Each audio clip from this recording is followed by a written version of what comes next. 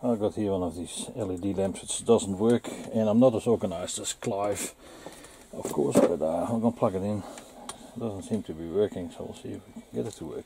Oh it works now. Temperamental thing. I didn't expect that. What's the current on the flaming thing. Just have a look here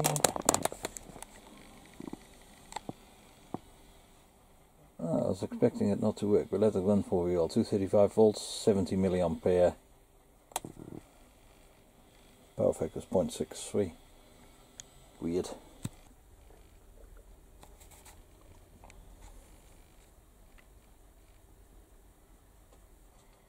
This is one of these color changing lamps, LED ones, but it's not working as it's supposed to be. It's very dim.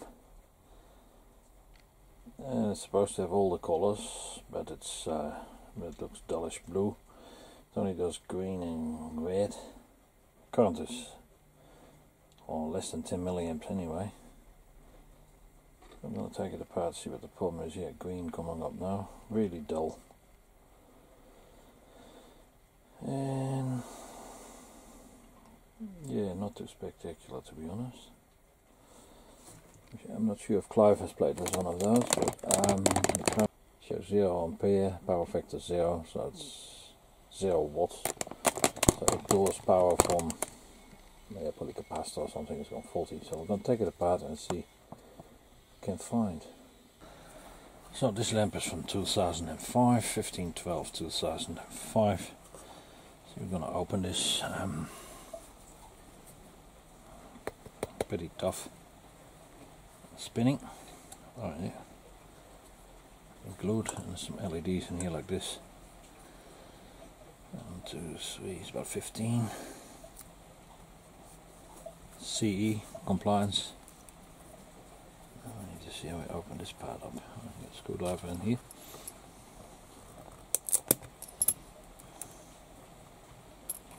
Collar. Clive is the expert in opening this with one hand. I don't know how he does it, but he is quite good in it. So we got the LED cluster, four wires, driver wires, because it's for the multi-color option. So I need to get this little thing out here.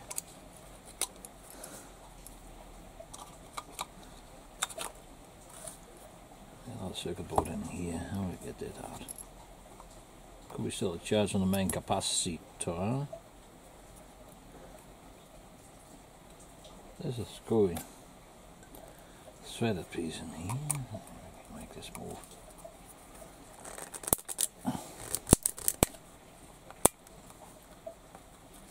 Oh yeah, it's coming out. It's probably best fitted somehow. Try not to stab myself on camera, that's not too clever. Oh, there we go. This is, ah, there we go, jackpot.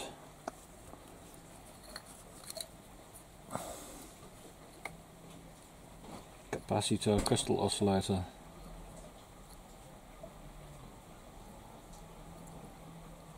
I'll closer look at this shortly.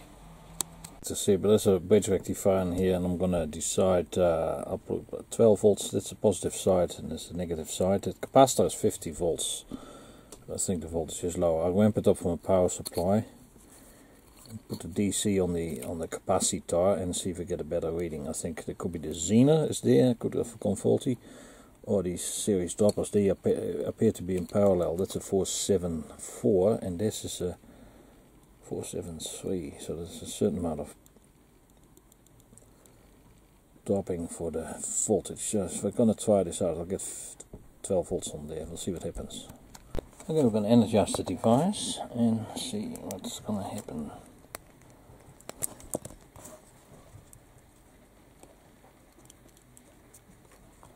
Anything? Well, the lights are glowing. Oh, very dim. 8 volts, we get it up a bit, 12 volts.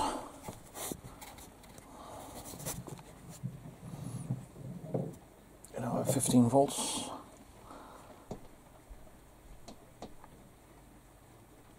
The oscillator is not starting somehow. A little bit higher. There we go. 18 volts.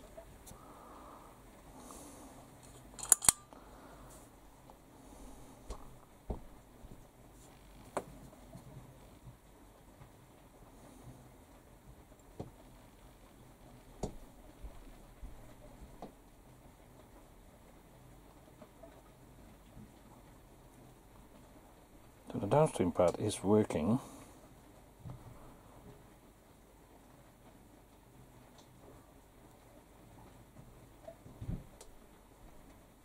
See the colours yellow and the other colours in between they haven't shown up yet. Go a bit higher.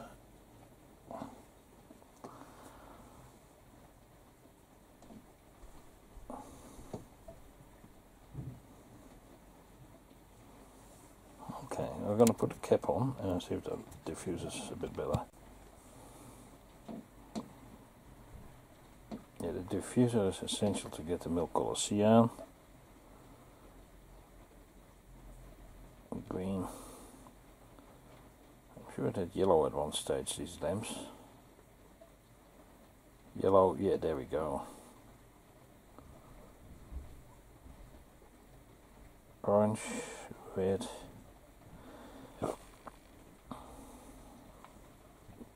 Purple. So the diffuser is essential to get the intermediate colors on this thing. So I run it now on um, direct on the capacitor. So the problem is that the inrush component voltage is just under 20 volts.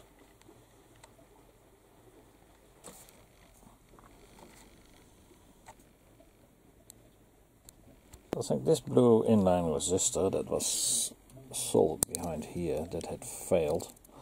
I think the readings were not consistent, so I'll put another 10 ohm resistor in series and uh, that is just the inrush current limiter and we'll see if that's going to work. I'm to plug it in and see if it works.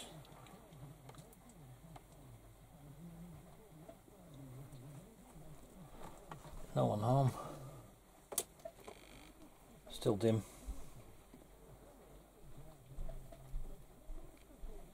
The capacitors. Oh, it's maybe.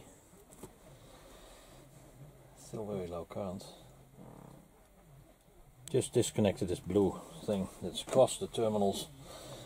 I have no idea what it does, but uh, it looks like an, uh, a varistor type thing or something. I've taken it off, so see if that makes a difference.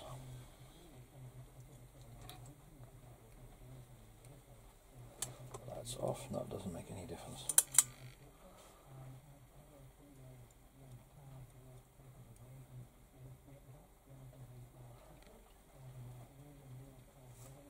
Plug safety first, de-energized device. 100 puff capacitor measures alright, 100 puff, so that's not a problem there. Well, I'm gonna give it another test. I put a 6, uh, 68 ohm, I put a 680 puff new capacitor in there, or 0.68 micro or 680 nano instead of the other two capacitors. They were those and they were faulty. Um, we're going to turn it on and we'll see if it works or we get a puff of smoke or not. As device, see what happens. Oh, it looks a lot brighter. Turn the lights off.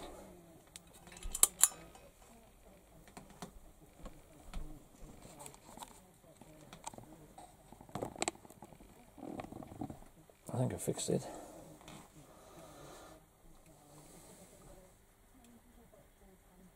Yep, it was the capacitor. The main capacitor was faulty. We've got a 50 milliampere going through there now.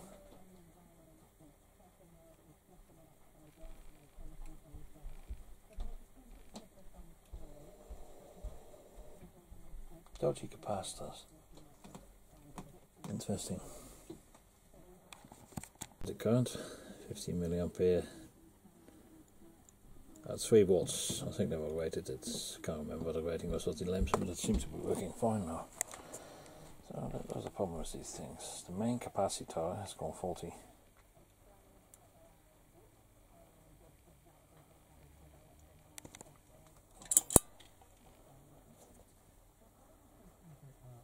This must have been a mod for the manufacturer. 474, so that's 470 nano. And there's another one in parallel. And this thing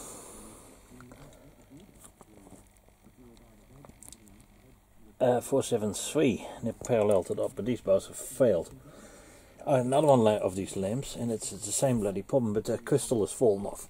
So I can't fix that at the moment. I lost the crystal. Bought these lamps many years ago for our kids and uh, they were cool they lasted about a year and a half two years and they ended up in the spare pile and now I have a bit of time to dick around with these things. So I'm going to put this one together and see how long it's going to last. So I'll put a 680 uh, nano in uh, 630 volts instead of 400 volts. So again, there's capacitors shooting me reading around uh, 470 nano, and they're reading only 99 nano. That was why the lamp was so dim, so I fixed that. Perfect. Alright, final smoke test. light off and see if she works. And light off.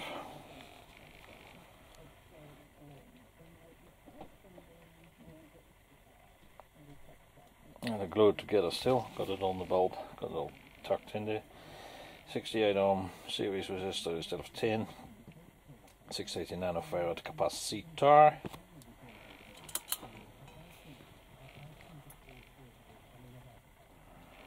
And it's working fine. Nice nice nice. The current hasn't changed much. It's still on 50 milliampere. Definitely fought me till the last end. One of these pins had come out as well from the bayonet. So I soldered a copper strand in there and uh, yeah, hopefully I'll test it now and see if she works. Welcome back to the Weekend Collective. Thanks for your time this afternoon. I'll be back again uh, this, this, time tomorrow from 3 till 6. Uh, got a great show lined up for tomorrow. Of course, we have in politics from 3 o'clock. Nikki Bazander's joining us for the Health Hub. Well, actually, one of the things we might be talking about with Nikki is just how to keep yourself healthy when you're suffering from a broken heart. Uh, story about Lorde. Um,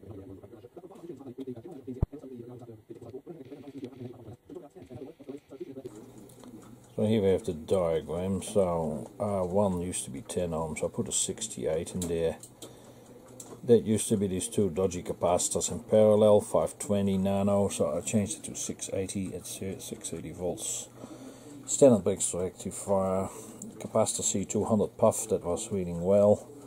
The blue thing was a type of MOV, Zener diode for 18 volts, it's a little regulator on the board, and then you got downstream a circuit with an unmarked IC, three little transistors which drive the LEDs, and a couple of resistors. So on the label, which was on there, it was a 4 watt uh, red, green, blue LED lamp. It's multicolor, so yeah